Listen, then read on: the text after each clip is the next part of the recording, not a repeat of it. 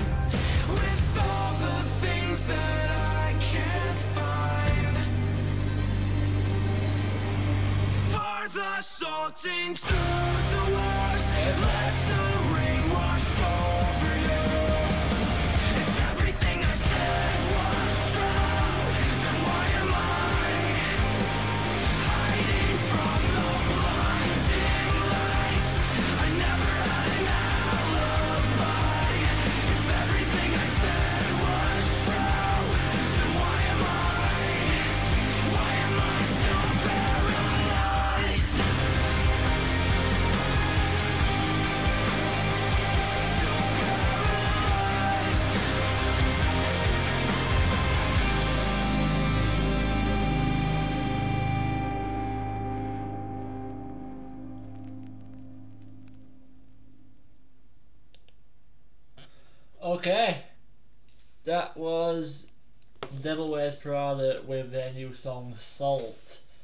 So let's go ahead and talk about this.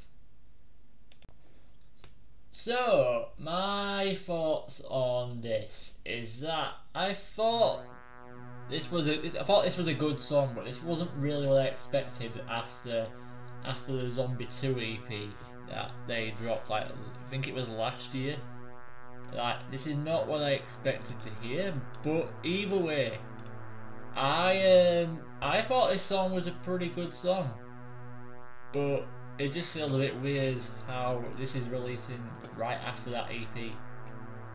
But yeah, I, it, it's a great track, but I don't feel like this is going to be a track that which I'd come back to every day. But it is definitely a, a worthwhile track that I would personally listen to at some points. Maybe not every day, but at some points throughout the week and day, whenever I feel like it. But if this new album is going to be all just like this, then I don't know, maybe I might lose a bit of interest because I need a little bit of variety, maybe a mishmash of like uh, what was the album called that um, that came before the Zombie 2 EP. Uh, let, me, let me check that. I cannot remember the name of it. Uh.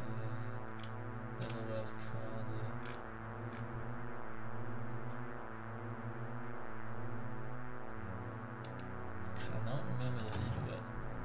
The Act.